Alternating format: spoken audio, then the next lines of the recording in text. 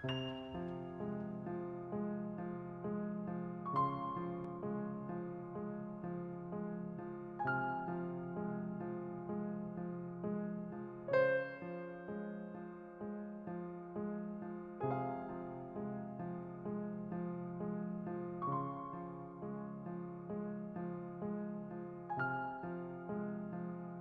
a sweetheart, huh?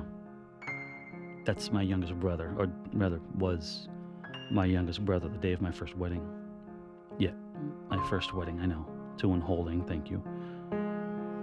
That goes for the divorces as well, and holding. That's Nicky, waiting for my mom outside the ladies' room. I went on my honeymoon the next day and then moved away all at the same time. I never saw him again.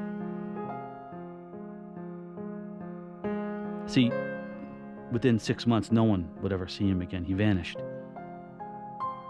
Literally. Not a single trace, not even the courtesy of a phone call or ransom note or anything. There was a shoe, not his, near the supposed scene of the abduction.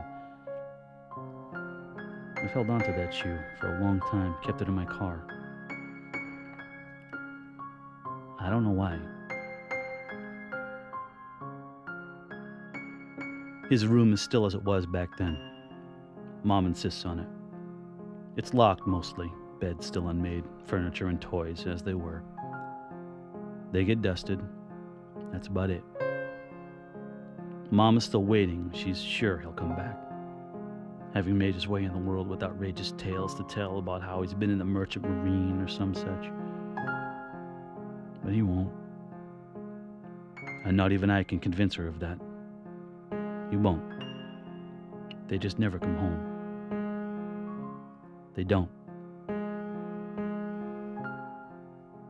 They unfortunately live forever at the age they disappeared at, all funny and sweet and loving, not knowing of the horrors of the world, let alone the horrors that befall them for just being in the wrong place at the wrong time.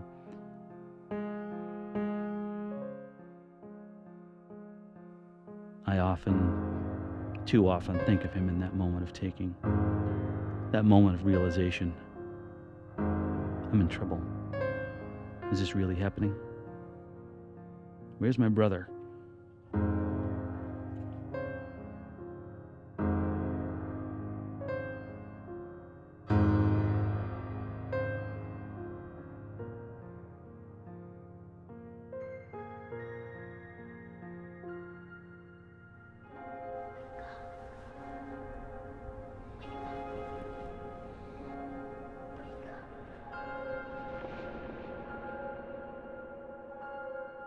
I missed him again.